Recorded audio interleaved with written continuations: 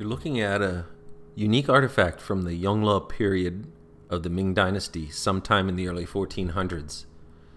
It's a Ming Chinese take on a Tibetan votive sword. Every inch of it is crawling with highly stylized detail and Buddhist symbology. It's very cool. There's a bit of a backstory to it, and maybe I'll get to that in another video. I've always wanted a replica of it. I'm a guy who goes into a museum and thinks, oh man, I want that in my home. Where can I get a replica? As it happens, there are several replica versions for sale online. Uh, they differ wildly from one another and have varying degrees of accuracy to the original. Some are not bad, some are kind of wonky, uh, but one or two stand out as being fairly faithful recreations. Retail prices for these are all over the place, ranging from reasonable to holy crap, you gotta be kidding me. Believe it or not, one of the most accurate versions is also the least expensive. So I broke down and ordered one. Here it is, and I'm going to review it. Now, if you're only into backyard cutting or you're only into wushu or tai chi, this video probably will not interest you. So it arrives in the typical cheap sword box. Of this we will speak no more. Open it, and your first impression is how visually striking this sword is. The workmanship and construction are about average, about what you'd expect. But the level of detail from the pommel all the way down the scabbard is really pretty impressive. They took some artistic license with the design. For example, they brought down the lower jaw of the monster so that it's more symmetrical with the front of the face. Also, these engravings here aren't exact. They've got this double dragon thing going on. But that said, everything has the right flavor and it hits all the right notes. There are other details they could have easily ignored but didn't. For example, the fittings are different from front to back. Including the pommel.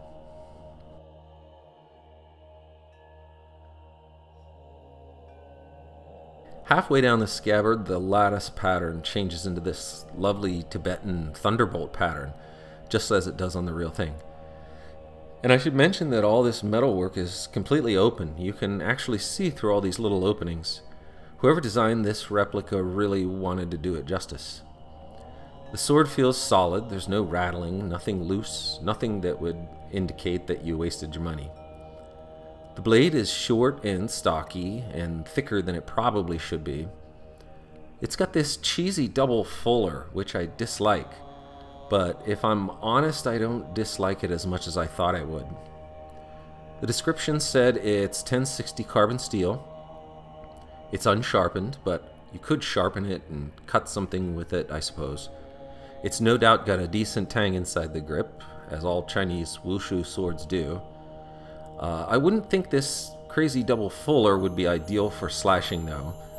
And anyway, I didn't buy it for that purpose. I own real cutting swords for that. Sooner or later, I'll replace the blade with something lighter and more practical. This one's a bit on the heavy side to do sword forms with. Uh, but for now, I'm happy with it as a display piece to go with my other Buddhist collectibles. And I look forward to explaining what it is when friends come over. Otherwise, there are some slight imperfections here and there, but nothing you wouldn't expect at this price point. And I already feel like I got more than I paid for, so I'm not going to sweat the small stuff. Final verdict, I'm really satisfied with my purchase. Whoever made this really did a good job of imitating the look of the Yongle sword. It's probably the most visually interesting thing that I own. I can't stop looking at it, I know it's just a cheap copy, and it's not really the right color, but it somehow gives me the same sense of stillness that I feel when I see images of the original. If you like it, I highly recommend it, but only this particular version, so make sure you're getting the right one and don't overpay for it.